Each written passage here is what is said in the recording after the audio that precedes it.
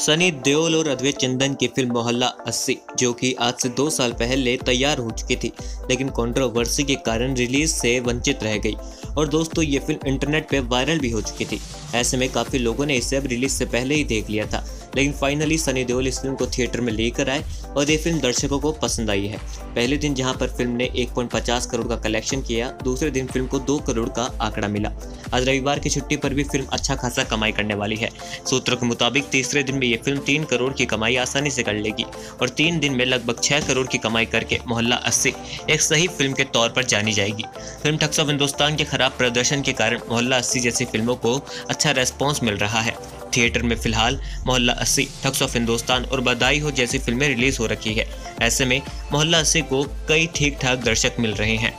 Film को budget निकालने के लिए भी थोड़ी और कमाई करनी होगी, लेकिन फिर भी ऐसी फ़िल्म जो कि डिब्बा बंद हो चुकी थी, वो कमाई कितनी भी करे, इससे प्रोडक्शन हाउस तो काफ़ी खुशी होगा। दोस्तों, मोहल्ला अस्सी को क्रिटिक्स ने काफ़ी अच्छे रिव्यूज़ दिए हैं। फ़िल्म काफ़ी ज़्यादा शानदार है, लेकिन अडल्ट फ़िल्म है। आप इसको फैमिली के साथ में नहीं देख सकते। दोस्तों, आपको फ़िल्म मोहल्ला अस्सी के बारे में क्या कहना है? सनी देओल की ये वापसी आपको कैसी लगी? कमेंट बॉक्स में बताएँ। सब्सक्राइब करें, देखो देखो, ताकि आने वाली खबर आप तक पहुँचे सबसे पहले।